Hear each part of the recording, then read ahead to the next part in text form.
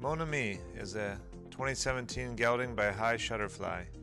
This young horse has the right parts to make up to be a top horse. Rideability is there, jumping technique, carefulness, and a good canter. Hard to find jumper prospects that check all the boxes like this one.